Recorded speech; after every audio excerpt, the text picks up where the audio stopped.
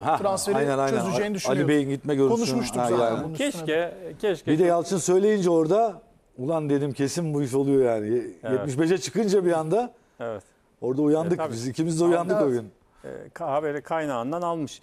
Onun dışında ben e, keşke Viska'da bir takıma gitseydi. Başakşehir'de bence heyecanını yitirdi artık. Çünkü çok iyi izlemekten keyif aldığım çok özel bir oyuncu. Ya büyük takımlarından birine gitseydi yani ne bileyim Fener olur, Trabzon olur, Galatasaray olur ya da Beşiktaş. Böyle bir takıma gitseydi onu da or- oralarda izleseydik çok daha iyi olurdu. Belki diyorsun. yeni dönemde de öyle bir fırsat İnşallah. olabilir. Zaten Zaten ilerledi. ile Viska Türkiye'nin bence en iyi kenar oyuncuları. Çok aynen. Viska e, daha çok skor üreten bir oyuncu. Evet. Bakayeme daha çok Uzun yıllardır e, istikrarıyla çalım hakikaten dikkat çekiyor. Kesinlikle. Ee, Emre Bol maçtaki en önemli anlardan biri ilk yarıda Samatta'nın ön direkte vurduğu bir kafa var. Fernando Muslera'nın inanılmaz Ha, bir evet, kurtarışı evet. söz konusu. Mesut Özil gibi bir oyuncunun varlığının rakibi nasıl rahatsız edebileceğini, kendi takımına güven vereceğini söylüyoruz. Sanırım Muslera da Galatasaray için aynı anlamı ifade ediyor. Şimdi bak Sosa kaç tane korner kullandı, kaç tane duran top kullandı, Caner kaç tane duran top kullandı, kaç tane korner kullandı. Mesut kaç tane kullandı. Mesut bir tane yapıştırdı gol oldu abi. Anladın mı? Bu, yani değerli oyuncu böyle bir şey abi. Kreatif oyuncu böyle bir şey. Sen rakibi durdurmak için ya Mesut koşamaz, adam kovalayamaz, pres yapamaz diye düşünürsen, bence öyle düşündü. Yani hazırlık hazırlık falan filan o işler hikaye abi kimse bana anlatmasın.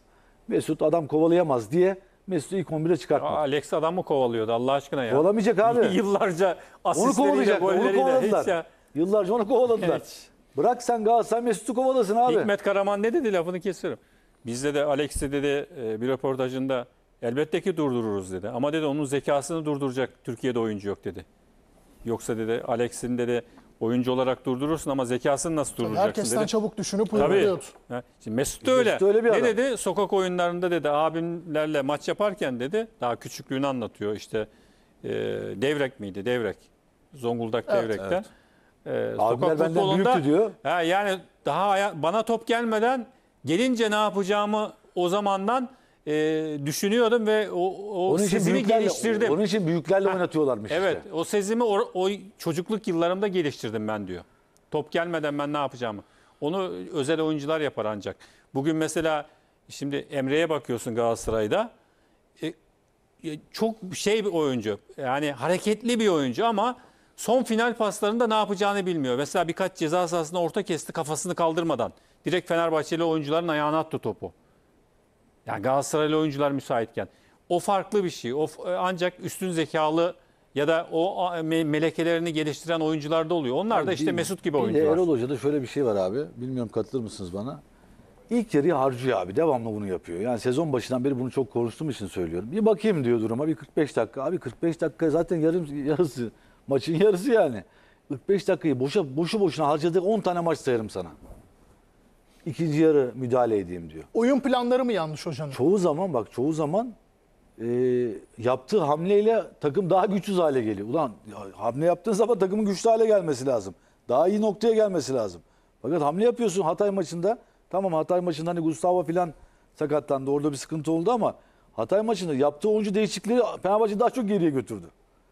Oysa tam tersini beklemez miyiz hamlelerde biz? Aa hamle yaptı bak oyun, maçı oyunu güçlendirdi.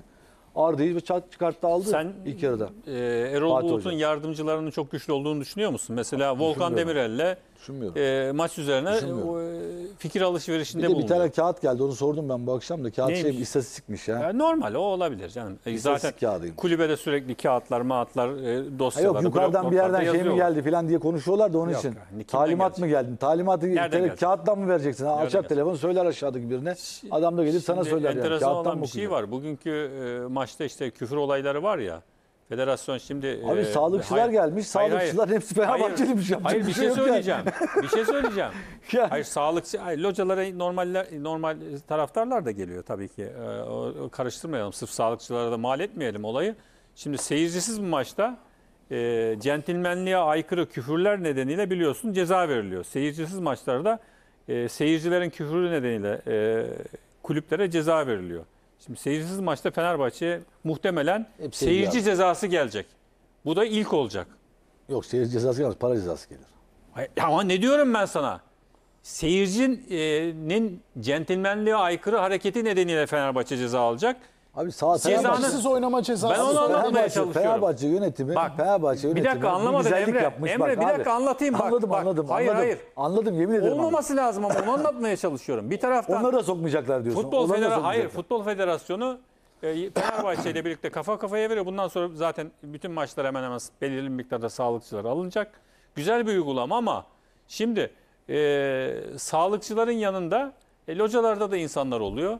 E, belli bir kalabalık oluyor. Bu sefer de heyecanla işte küfürler oluyor bilmem ne. Seyircisiz zaten. oynanan bir Sağ- ligde, seyircisiz oynanan bir, bir ligde şu anda e, centilmenliğe aykırı işte küfür nedeniyle takımlar para cezası alacak. Abi Fenerbahçe bir güzellik yapmış. Sağlık çalışanlarımız gerçekten çok yoruldular.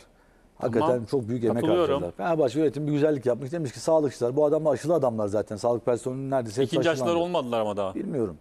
28 gün arayla Yani. 28 günde olmadı. Şöyle bir şey olsa da çağırdılar. güzel olmaz mıydı abi jest olarak? Mesela Galatasaraylı sağlık çalışanlarının da Niye hepsi Galatasaray Fenerli denk tribününde. gelmiş onu tam anlayamadım. Yani hepsi Fenerli denk gelmesi. Yani Demek ki sağlık Seçilmiştir. çalışanları. Şimdi Galatasaraylılar da e, Türk Telekom stadında Galatasaraylı sağlıkçıları ağırlayacaktır. E, O şekildedir herhalde bilmiyorum. Bu konu net bir konu mu? Bu sadece bu maçlık bir uygulama Değil değil, değil mi? bundan sonra Yok yok hayata alacaklar, geçti. alacaklar, Evet, evet. alacaklar, alacaklar. Bundan sonra alacaklar ama e, sosyal mesafe yok. Yalnız orada bir sıkıntı var. Aşılı abi hepsi. Onların hepsi aşılı. Abi aşılı da ikinci aşılar Sen çok olmadılar. Aa, korkuyorsun. Ne kadar sen, anti- sen bir şey Hayır söyleyeceğim. yok. Hayatımda, Ama sokaktaki hayatımda insan yanlış Covid'den- anlayabilir. Bak. Sen kardeşim, gerçek bir örneksin. Kardeşim bak sokaktaki insan yanlış anlayabilir. Çünkü niye, ne diyoruz? Niye sizinle Temizlik, ilgili sosyal beni? mesafe, e, maske. Yani tamam üzerinden temizlik, maske, Mesafe. mesafe. E şimdi e, Abi temizliğine senin kadar dikkat eden. Herkes dikkat ediyor ya. Beş Ya- tane maske takıyorsun Zeki abi. Burada Ya- bunları açıklamak istiyorum.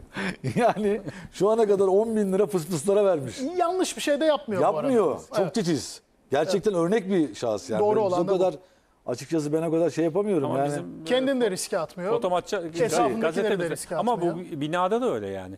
Şöyle söyleyeyim, gün içinde otomatik olarak 3 kere bu bina Ödül verilmesi camları lazım size. açılıyor. E, iki günde bir bütün e, kapalı ortamlar, asansörler e, dezenfekte ediliyor. İşte e, o astronot gibi giyinen, e, dezenfektan makineleri kullanan e, temizlikçiler var ya onlar... E, Senin odayı 5 defa falan yapıyorlar değil mi? ya, Sağlık her şeyin önünde. Tabii kesinlikle. Evet. Doğru söylüyor. Böyle Yani de oldu. Kerem. Şimdi Gerçekten gerçekten sağlığın takdir şakası ediyorum. yok. Takdir ediyorum yani yaşamayı bu kadar sevmeniz bizi umutlandırıyor şeye karşı. Yaşamayı sevmekle ilgisi. Tedbirli olmamız kurallara, gerekiyor. kurallara çünkü karşımdaki insanlara da saygım var. O yüzden yapıyorum. Evet. Biraz da. Tebrik ediyorum sizi. En doğru açıklama da budur. Mücadele sonrasında yapılan açıklamalara da bir göz atalım Şey- istiyorum. Eğer hazırsa e, bu açıklamaları ekranlara getireceğiz. Maç üstüne daha uzun uzun konuşacağız.